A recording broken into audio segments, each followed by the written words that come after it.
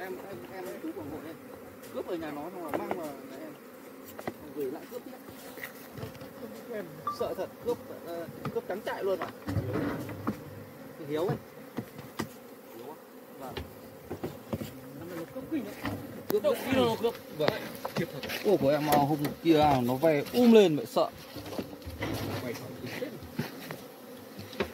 em em đặt cửa đông quá. em đặt em đặt